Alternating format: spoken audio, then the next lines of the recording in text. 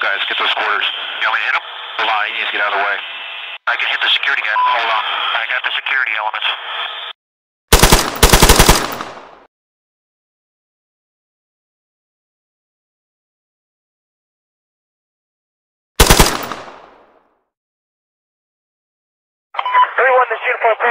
We are currently engaged in CYA operations at MSR Bravo. Interrogative, uh, what's your deviation timeline like, over? Disciple 3, you are authorized to use lethal force if necessary. Maintain an aggressive posture as you escort them out of the zone on bearing 775 by 6902. We'll be tracking with Avatar 1. Over. I wonder what will happen after this, man. I don't know. Let's just get this over with. Okay.